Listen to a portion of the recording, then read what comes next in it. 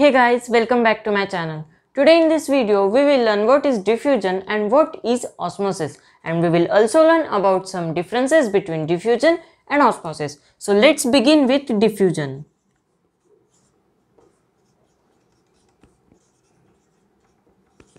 So what is diffusion? So diffusion is the process in which the substances from higher concentration move towards the lower concentration. In this process, the substances like solid state, liquid state, gaseous state, all these three states of substances can be diffused with the help of diffusion. We will take an example. For example, if we have one box and in this box here are two pipes from this pipe we will put some nitrogen gas and from this pipe we will put some uh, hydrogen gas now the nitrogen gas is poured and this is the hydrogen gas.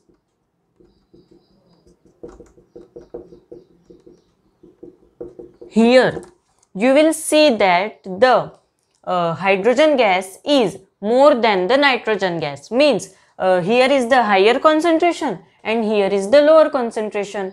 So we uh, learnt that in diffusion the substances from higher concentration will move towards the lower concentration. So these hydrogen particles will move towards the nitrogen particles and these both particles, these both particles will get diffused. These both particles will be mixed with the help of diffusion. Now, uh, the next concept is osmosis. Osmosis. Now, what is osmosis? So, osmosis is the process in which the, the solvent or liquid molecules move across a semi-permeable membrane from higher concentration towards the lower concentration. Means in osmosis, a semi-permeable membrane is involved through which the particles move from higher concentration towards the lower concentration. We will take a simple example like we have a bowl. Now, in this bowl, we will put some water. We will put some water in this bowl. Now, now, we will also put one almond in it, almond. This is a almond. Now, when you will soak this almond overnight in this water you will uh, see in the morning that this uh, the size of the almond is increased. Okay the size of the almond is increased. How this happened? So this happened with the help of osmosis. What happened uh, that this uh, almond's size was increased? So these water molecules uh, moved inside the almond. Why they moved inside the almond?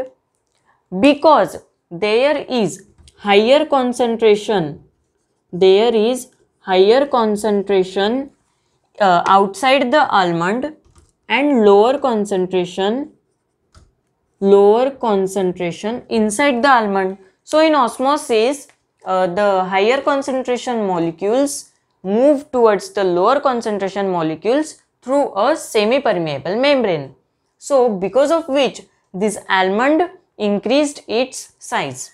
So we learnt about diffusion and osmosis. Now we will learn about now we will learn about some differences between diffusion and osmosis. So the first difference is uh, we will uh, write first difference that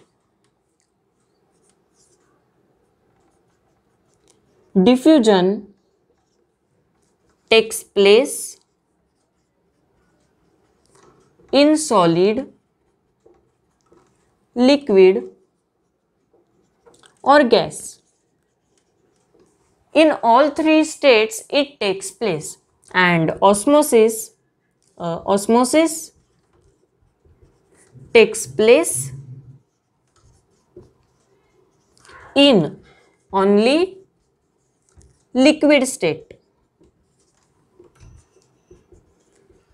So you can say that osmosis is the diffusion of liquid state.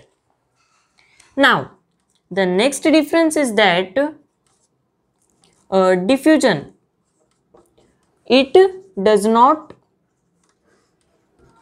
involve semi permeable membrane semi permeable membrane but but we learnt that in osmosis semi permeable membrane semi permeable membrane is involved is involved the next difference is uh, diffusion. In diffusion, it is not influenced. It is not influenced by the presence of other substances it is not influenced by the presence of other substances. But in the case of osmosis, it is influenced. It is influenced by the uh, by the type and concentration of the substances of the substances. So these were some differences between diffusion and osmosis. So to learn such concepts, please subscribe my channel and don't forget to hit the bell icon so you will get notified when I will upload new videos. Thank you.